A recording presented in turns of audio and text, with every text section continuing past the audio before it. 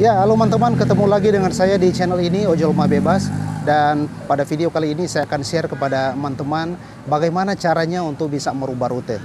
Kenyataan yang terjadi di lapangan teman-teman, banyak pelanggan yang salah menentukan titik penjemputan maupun pengantaran teman-teman.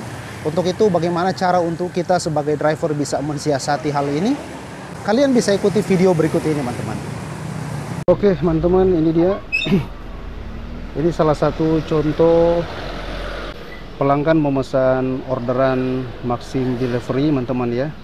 Jadi dari es salju maknyus dan gorengan diantar ke Jalan Durian tetapi ternyata bukan Jalan Durian teman-teman tetapi sebenarnya Jalan Nangka ya. Saya baru saja menghubungi penerimanya. Nah bagaimana cara untuk bisa merubah rute teman-teman supaya kita tidak salah di dalam hal men, apa mengatasi hal-hal seperti ini ya teman-teman? Nah saya mulai tekan saya akan tekan mulai jalan teman-teman. Ya. Seperti teman-teman lihat ya sesudah menekan mulai jalan uh, muncul ubah rute di layar teman-teman. Jadi ubah rute ini dia tidak akan muncul ketika kita baru menerima orderan teman-teman. Tetapi ketika kita menekan mulai jalan baru dia akan muncul teman-teman ya. Oke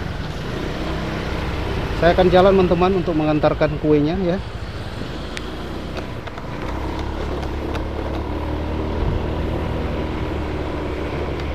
Ini jarak pengantarannya teman-teman hanya 0,8 km jadi hanya dekat.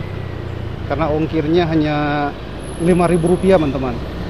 Sebenarnya ongkirnya ini hanya 4000 rupiah tetapi di up oleh uh, pelanggan teman-teman menjadi 5000 rupiah ya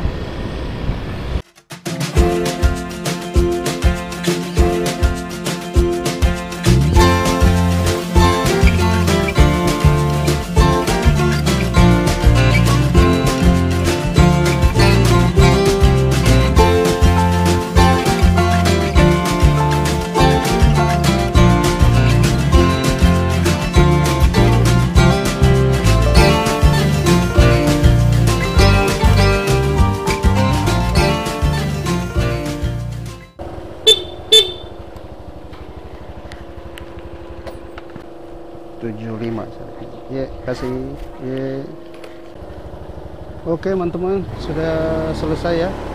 Nah saya akan menunjukkan kepada teman-teman bagaimana cara menyelesaikan orderan ini sesuai dengan titik pengantaran ya. Karena seperti tadi yang saya jelaskan kepada teman-teman bahwa uh, pelanggan yang memesan aplikasi ini salah dalam menentukan titik pengantarannya teman-teman. Nah begini teman-teman teman-teman bisa merubah rute. Jadi teman-teman tekan ubah rute teman-teman ya. Teman-teman tekan ubah rute. Nah berikutnya teman-teman tekan tambah alamat teman-teman. Tambah alamat. Nah posisinya seperti yang teman-teman lihat di di mapsnya di petanya ya. Sesuai dengan titik di mana saya berada ya. Nah langsung tekan centang saja teman-teman. Karena dari sistem aplikasi Maxim dia memberikan uh, posisi tepat di mana kita berada secara otomatis ya teman-teman. Saya tekan centangnya. Ya nah sesuai ini teman-teman saya akan menghapus uh, alamat pertama yang dituju ya yang di gedung dakwah Aisyah Jalan Durian teman-teman ya. Nah saya hapus saya dengan menekan X teman-teman. Hapus alamat iya Nah, sesudah terhapus teman-teman, baru teman-teman tekan simpan teman-teman. Simpan. Nah, itu teman-teman, rutenya diubah ya. Nah, ternyata posisinya teman-teman e, tidak jauh sebenarnya antara jalan Durian dengan jalan Nangka ini teman-teman sehingga ongkirnya juga tidak berubah teman-teman.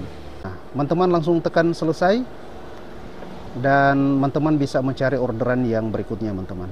Ya.